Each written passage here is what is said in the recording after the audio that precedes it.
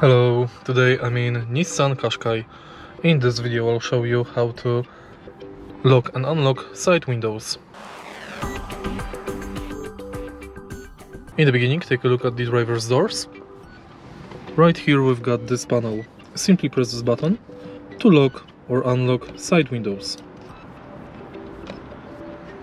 Thanks to this function only driver can lower and rise rear side windows. If you find this video helpful, please leave like, comment and subscribe.